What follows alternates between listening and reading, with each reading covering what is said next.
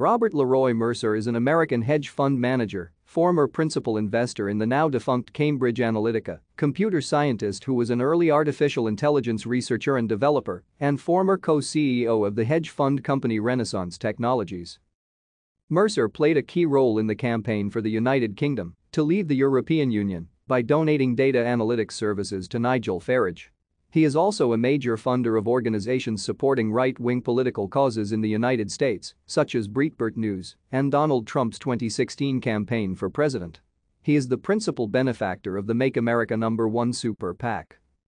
In November 2017, Mercer announced he would step down from Renaissance Technologies and sell his stake in Breitbart News to his daughters. Mercer grew up in New Mexico he developed an early interest in computers and in 1964 attended a National Youth Science Camp in West Virginia, where he learned to program a donated IBM computer.